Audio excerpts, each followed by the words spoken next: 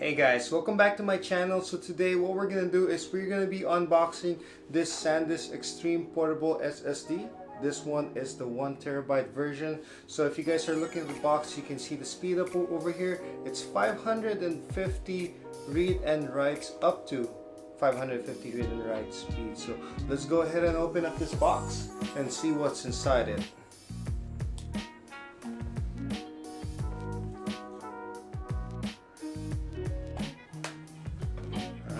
Go ahead and remove the stickers right here on the top and bottom.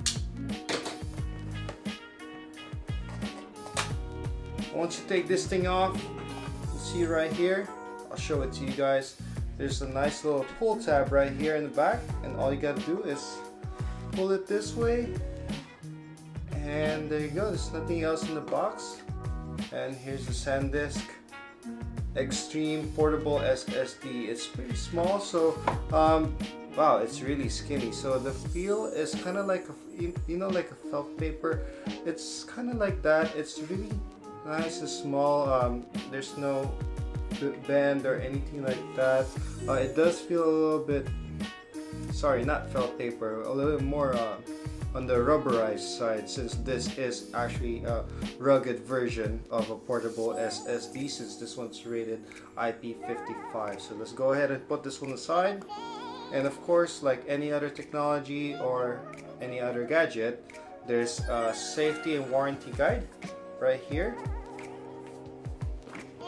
And a USB-C to USB-C adapter and it also has a USB-A adapter to a female USB-C if you want to use this one on your computer. So um, just looking out in the box over here there's a lot of compatibility. That this one is claiming so it's a USB type C USB 3.1 Gen 2 and basically that's it for this piece so it's pretty nice and easy or pretty nice and simple uh, nothing extra or anything like that it's pretty straightforward you buy a portable SSD you just get a portable SSD.